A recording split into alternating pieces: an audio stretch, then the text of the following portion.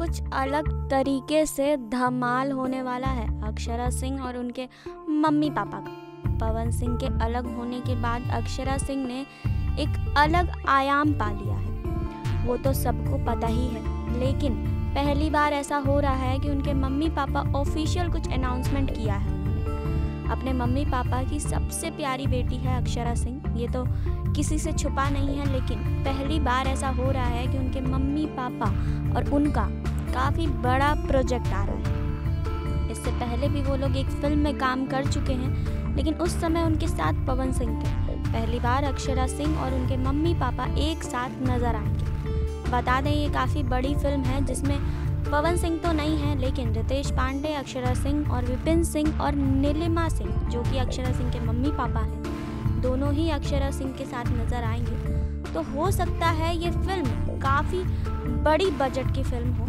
और फ़िल्म का नाम सुजान गर है और इसकी शूटिंग जल्द ही शुरू हो जाएगी।